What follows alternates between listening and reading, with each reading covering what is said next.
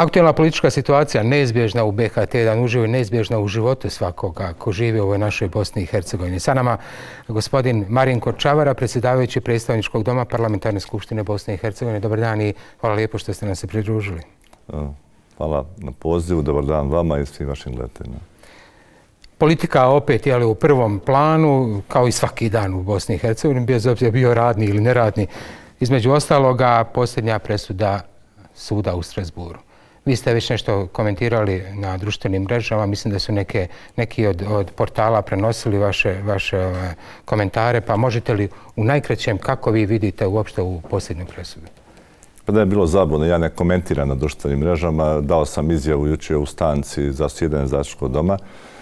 Rekao sam ovo što imamo situaciju sa svim ranim presudama, znači sud u Strasburu, e, presuđuje i radi na temelju e, povelje o ljudskim pravima, znači o deklaracijama, svim koje su opće prihvaćene u Evropi.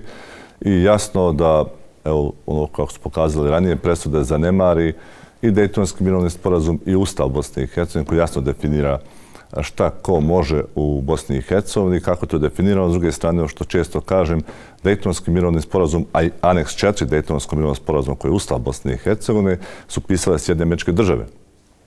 Pa se često našalim, nekad ovi koji apelanti tuže Bosnu i Hercegovinu, prvenstveno bi trebalo tužiti oni koji su pisali ustav, jer Bosna i Hercegovina nije kroz demokratski proces usvajanjem ustavu došla do ustava Bosne i Hercegovine, to znači dio mirovnog sporazuma, no što sam rekao juče, to znači ukoliko neko želi narušiti načela mirovnog sporazuma, a Dejtonski sporazum je mirovni sporazum Bosne i Hercegovine, ulazi u fazu kad može izazvati rušenjem odnosa uspostavljenim mirom sporazum o miru može dovesti do nemira. Nije to nikakva prijetnja kako neko želi prikazati, naravno iz svojih političkih potreba. Znači, neustavno kažem ono što se može dogoditi, jer na filigransku vagu su izvagani u Daytonu odnosi oni koji su bili u sukobu i, nažalost, ti sukobi još značajno treću naše bosansko-hercegovačko društvo, a ja stalo pretendiram da to stavimo iza a da onda se bavimo onim važnim stvarima koje se tiču života u Bosni i Hercegovini, naravno na koji način da osiguramo da svi ugodno živimo u Bosni i Hercegovini, isto tako da dao motiva svim mladima da izgrađuju ovu svoju državu u Bosni i Hercegovini. Ostaćemo još par trenutaka na ovoj temi. E, mladi Zahiragić, mladi i agilni Zahiragić iz SDA je reagovao na, na, na taj vaš stav i rekao je da je sam taj aneks 4 koji pominjete član drugi 2 da prava i slobode Evropske konvencije i ljudskim pravima direktno se primjenjuju u Bosni i Hercegovini, imaju prioritet nad ostalim zakonima, a da Evropski sud za ljudska prava, ja sada parafraziram njegovu reakciju, Evropski sud za ljudska prava je zaštitnik konvencije, što bi otprilike značilo da ono što je Evropski sud donio, da automatski se ugrađuju konvenciju koja je, kako reče Aneks 4, ima prioritet nad ostalim zakonima.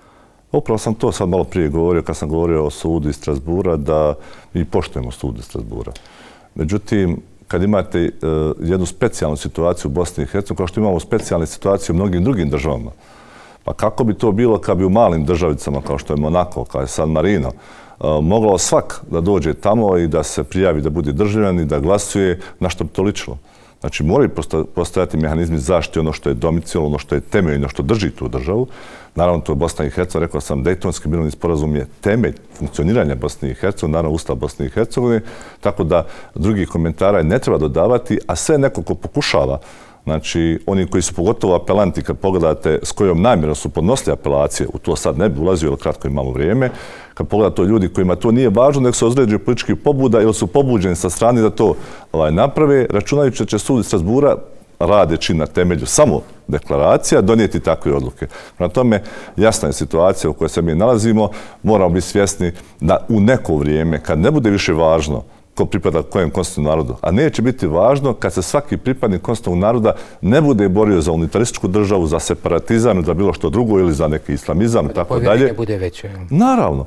Pa ovo prvo tome govori. Znači, kad ne bude se bavili prošlošću, e, vremenom sukoba, gdje smo imali normalno tri strane u sukobu u Bosni i Hercegovini, kad ne bude se bavili tim stvarima, mislim da će se puno veće povrednje napraviti i kad bude spremnosti oni koji su brojni napraviti iskorak prema onima slabijima, a ne pokušavati napraviti dominaciju kao što je Eh, oduzmanje prava da birate legitimne predstavnike, što je apsolutno nedopustivo u današnjem ustroju Bosne i Hercegovine, koje će vjerojatno još dugo ostati jer nemoguće ga promijeniti bez volje sva naroda, a ta volja će biti Eh, kažemo, kapacitirana i bit će moguće to napraviti kad se vrati potpuno poverenje i da ljudi ne, ne prezaju i da nema taktika koje će one malobrojnije eh, uzeti sva njihova prava kojim pripadaju kao kolektivitetu i kao konstitutivnu narod Bosne i Hercegovine. Rado bi još ovome, ali kao što ste rekli, imamo jako malo vremena. SDS uputio u parlamentarnu proceduru prijedlog zakona o Ustavnom sudu BiH. To je još jedna od ručih tema. Iz SNSD-a stigla podrška kakav je stav HDZ-a s obzirom na to da su oni jednoglasni u tome da žele taj Ustavni sud vidjeti bez stranih sudija? Pa naš je stav odavno da idemo evropskim putom.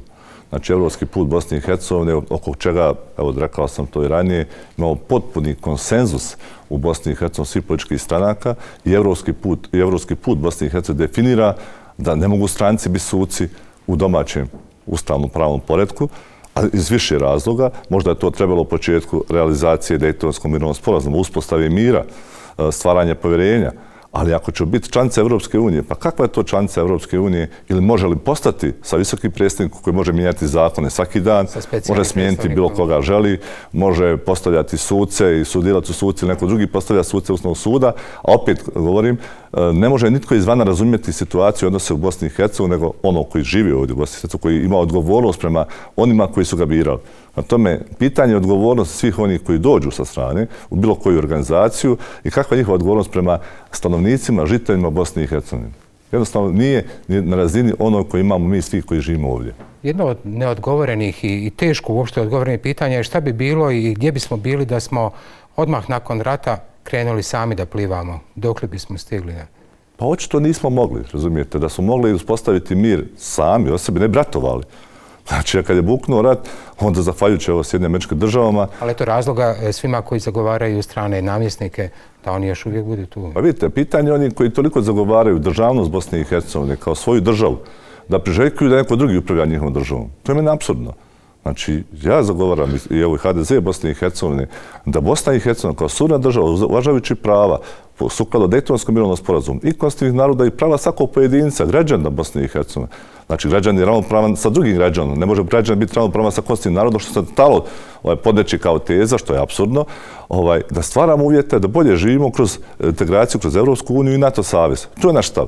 A sada, kako ćemo to napraviti? U kojom dinamikom? Sve zavisi od razumijevanja, razmišljanja i poteza koji idu dobronamjerno. Znači, ako želimo svakim potezom, evo i ova hajka koja je krenula, koja je presude, koja je presuda, koja svi do sad presude, ovaj, i logično očekivati takve presude, da je sad stotnu takvih sličnih presuda i sad se natječe ko će biti taj apelant koji će na neki način dobiti malo pozornosti javnosti, pa onda reći, evo ja ću podnositi kazne prijeve, on će sve od, od, od sutra, ovaj, apelant upravlja ovom državom. Apsolutno nedopustivo. Ove institucije Bosne i Hercegovine trebaju znači, da upravljaju državom, da e, izgradimo pravnu državu. Ono što smo prihvatili 14 prioriteta za članstvo u Europskoj uniji, trebamo to što prije realizirati.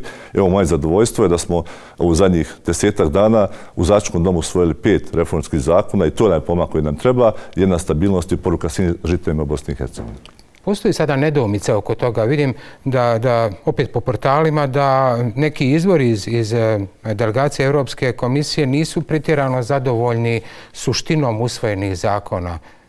A vidite, mi možemo sada tražiti od Bosne i Hercegovine da bude uređeniji sustav evropski e, pravno istečenje Evropske unije, uređenija nego sve jedna članica Evropske unije. To je absurdno. A šta ćemo raditi u, pristupnom, u pristupnim pregovorima? Eh, prvenstveno, eh, nama je potrebno da stvarimo uvjete koji su minimalni, ja koliko znam, to mogu biti komentari neki drugi, ono što je zvanična Evropska unija eh, izrekla, a to je da su zadovoljni sa rješenjima koja smo osigurali ovih pet zakona koje smo osvojili u začetnom domu i to je jako pozitivno. Nekad ima dileme, imali smo dileme recimo kod zakona o pristupu informacijama da drugostupanjsko žalbeno vijeće, bilo je nekih zamjerki, nekih nevladih udruženja koji uvažava Evropska unija, da oni kažu da to nije usklađeno sa Evropskom stečom, međutim, nijedan jedan paragraf nije narušen koji se tiče toga. S druge strane, rješenje koje smo mi usvojili u zaštičkom domu, koji će vjerovatno usvojiti 30. i Dom naroda, to je da je drugostupansko vijeće pri vijeću ministara i takvo rješenje ima osam članica Evropske unije. Da ne može neko reći da Bosna i Hercegovina koja želi otvoriti pristupne pregovore, kandidatkinja, mora imati bolje uređeno nego osam članica Evropske unije. Naravno, to je proces, bitno je da ostvarimo proces koji će otvoriti da kažem, pristup informacijama svakom onom ko treba i tu možda nekad malo i više srljamo, jer pristup informacijama ne omogućava samo ono koji će koristiti ispravne svrhe. To ne omogućavamo i kriminalcima da je zlopotrijebi. Na tome moramo prvenstveno čuvati stabilnost institucija Bosne i Hercegovine, graditi njihovu snagu, osigurati da pravna država funkcionira. Na, tak, na, na takav način ćemo zasigurno puno lakše stvarati i ići korak dalje kad budemo razgovarali o pristupnom putu Bosne i Hercegovine članstvo. Savršeno ste upravo kada kažete da se od nas traži nešto što možda ni, ni sve evropske članice ne bi ispunile. Kada samo pomislim na koji način su u Evropsku uniju ulazili oni koji su tamo već desetak godina, a šta se od nas traži, razlika je, razlika je suviše velika da, da bi bila da. neprimjetna. A prvo, dopustite samo, to je jasno, znači pristup i članstvo Evropske unije je političko pitanje. Mi sad trebamo iskoristiti ono zbog čega smo ovih dana radili ubrzano, ovaj, u dvije sjednice koje sam ja predsjedavao, ovaj, to je da iskoristimo ovaj trenutak u međunarodnim odnosima. Jasno da ima signala iz Evrope da su sljedeće godine evropski izbori, da ovo stanje u Ukrajini, da će možemo zakačiti, kažemo zakačiti ili ući u vlak zajedno ovaj, sa Ukrajinom, gdje će se puno toga gledati kroz prste, znači zemlja u ratu, fački agresijom, agresijom Rutije, u Rusije na Ukrajinu. Jasno da nam možemo mi iskoristiti da sve ove naše nedostatke sustava koji post-ratni, možemo još uvijek reći post-ratni, po temama koje su u javnosti ovaj, stalo pojavljuju, da iskoristimo taj trenutak, jer nismo savršeno društvo koje može sve odgovoriti zahtjevima Europske unije. Ali možemo iskoristiti da krenemo korak dalje, a taj korak kad napravimo, da ćemo puno lakše napraviti ostale korake koje trebamo napraviti. Pomenuli ste i pristupne pregovore. Neko je rekao da bi bilo idealno ako bismo do kraja godine uspjeli da započnemo te pristupne pregovore koji jesu zaista filter i nakon njih nakon godina pregovora, zemlja bi zaista trebala da bude punopravna članica, spremna za punopravno članstvo. Upravo to, dakle, opšte da povijastim gledateljima. Znači, mi uh, ispunjavamo 14 prioriteta, sad smo pet mi u Zaštku domu svojili. Znači, cilj je da do, da kažemo, uh, provjere našeg napretka, dobijemo pozitivnu ocjenu i da upravo tako otvorimo pregovore, a tad ćemo naravno biti lakše u mogućnosti da stvaramo pretpostavke da ispravimo sve ono što nije u skladu sa evropsko stačenom pravno, pravno evropsko stačenom. S druge strane, dakle, neumjetno upitna i neupitna je uopšte, bar do sad bila ta, ta, to stremljenje Bosne i Hercegovine ka evropskoj integracijama. Ali evo u svom komentaru mislim na, na ovu posljednju presudu iz Strasbura, mislim da je, da je predsjedavajući SNSD-a i predsjednik Bosansko-Hercegovičkog entiteta Republike Srpske, gospodin Dodik, rekao da bi Bosna i Hercegovina mogla umjesto Evropske unije se pridruži a, tom udruženju koje se zove BRICS, ako se ne varam, a, Rusija, Kina i, i tako dalje. Ja mislim da je to izjava samo iz revolta. Bosna i Hercegovina nema naše mišljenje iz Hrvatske demokratske zajednice i moje osobno da nema alternativu osim evropske integracije i NATO integracija. Ako želimo napredak Bosne i Hercegovine, to je cilj koji trebamo težiti za, koje, za čije članstvo trebamo ispuniti uvjete i maksimalno raditi na tome. I ovo meni zadovoljstvo da je i e, stranka Milora Dodika, SNSD, e, aktivno sudjelovao i na prošloj sjednici i na jučerašnjoj sjednici da usvoje pet reformskih zakona. To pokazuje jasno opredjeljenje i SNSD-a. Da policija funkcionira.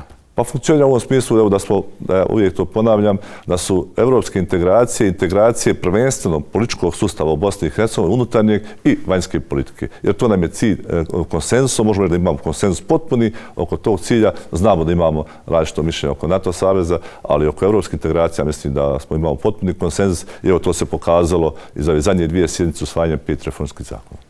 Hvala najljepša Marinko Čavara, predsjedavajući predstavničkog doma Parlamentarne skupštine Bosne i Hercegovine, bio je gost. Hvala najljepša. Hvala vam pozivu.